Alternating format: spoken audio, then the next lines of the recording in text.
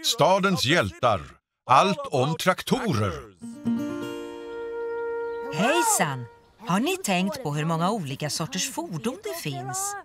Flygplan, båtar, tåg, traktorer. Hej Lisa! Hej Tage!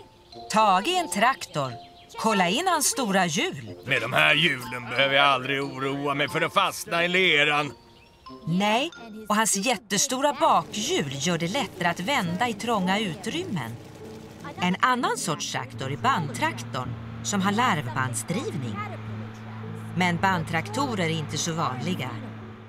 Innan däcken uppfanns gillar folk dem för att de inte hade tunga hjul gjorda av järn. Men idag ser de flesta traktorer ut som du ungefär.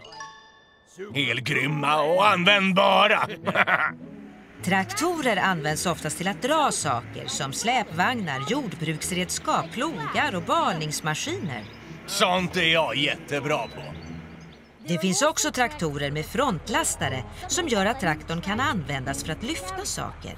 En frontlastare är toppen om man behöver lasta tunga balar av hö eller behöver lyfta andra tunga saker. Andra traktorer har extra redskap vilka kan användas för att till exempel få bort snö. Just, sån vill jag ha. Hur länge har det funnits traktorer? För hundra år sedan började folk försöka bygga ångtraktorer för att hjälpa till i jordbruksarbetet.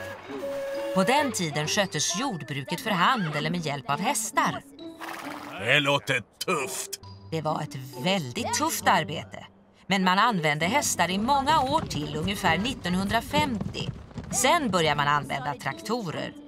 Det var till stor hjälp i jordbruket. Det blev lättare att jobba på åkrarna och det sparade tid.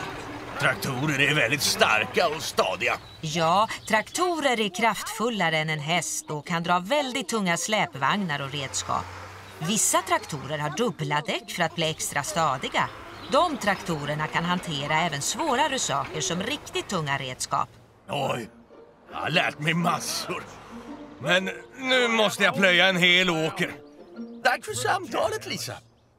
Tack Tage! Vi har sån tur att ha dig här i staden. Vi är så glada att du finns här.